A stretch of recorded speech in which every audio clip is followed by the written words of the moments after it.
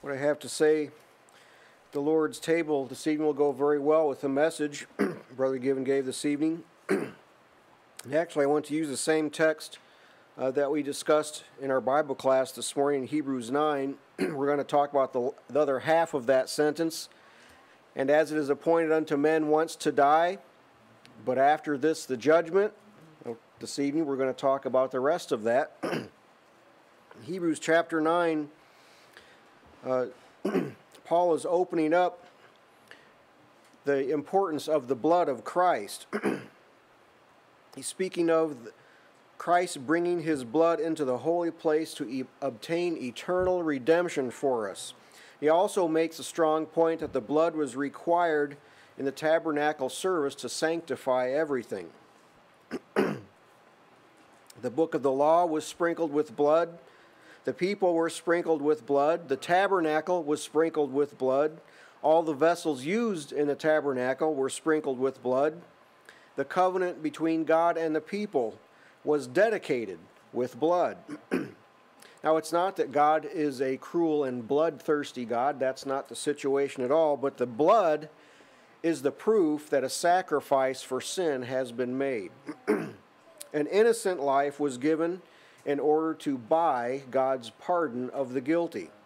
Atonement, therefore, must be associated with death. That's the way God designed salvation.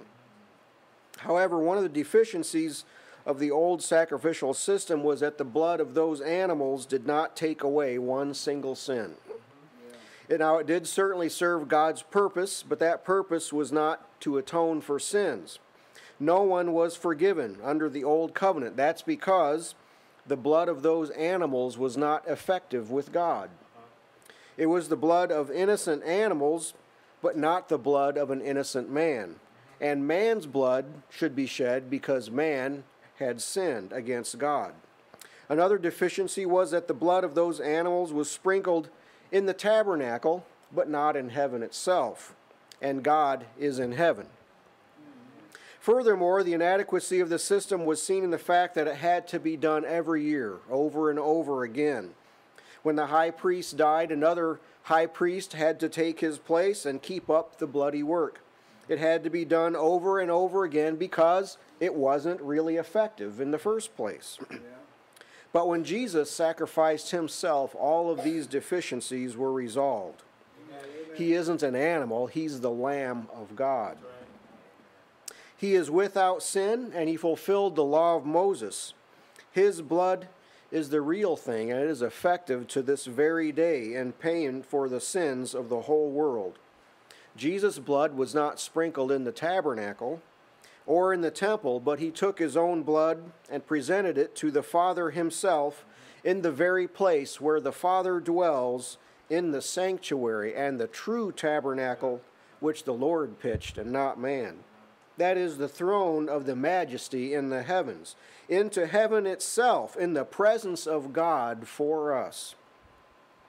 Then, in the last four verses of Hebrews 9, Paul deals with this last deficiency of the Levitical priesthood, having to offer the sacrifice repeatedly.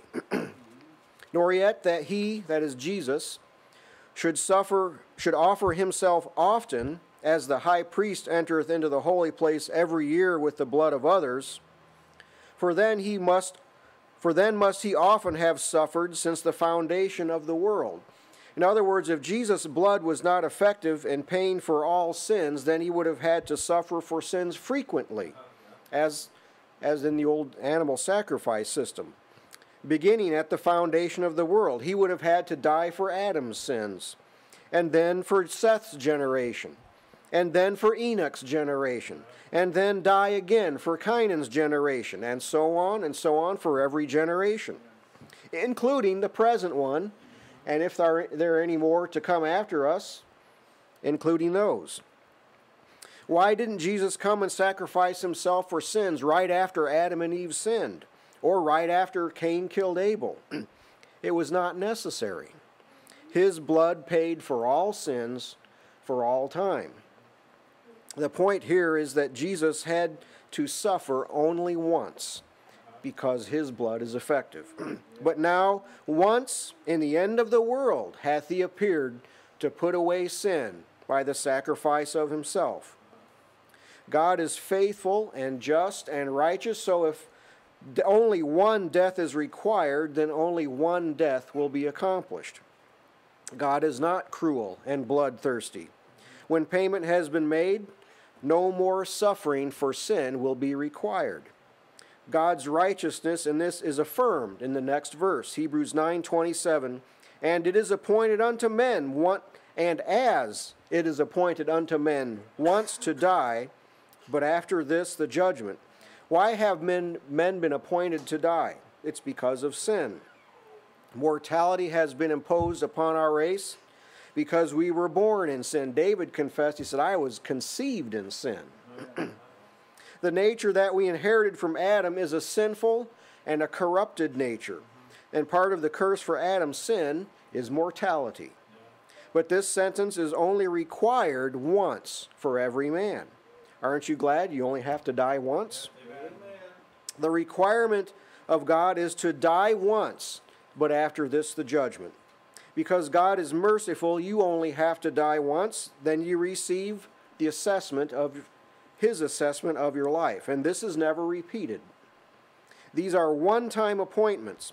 Now, Paul is going to establish here and may, use this as an example to make a point about Christ's death. It is right that we only have to die once. God's sentence upon humanity was righteous. Man should not live forever in a state of alienation and enmity to God. He should die once, but after this, the judgment. So, in like manner, Christ was once offered to bear the sins of many. And unto them that look for him shall he appear the second time without sin, unto salvation. Now, this is right too. Christ only needed to be offered one time to be the propitiation for the sins of the whole world.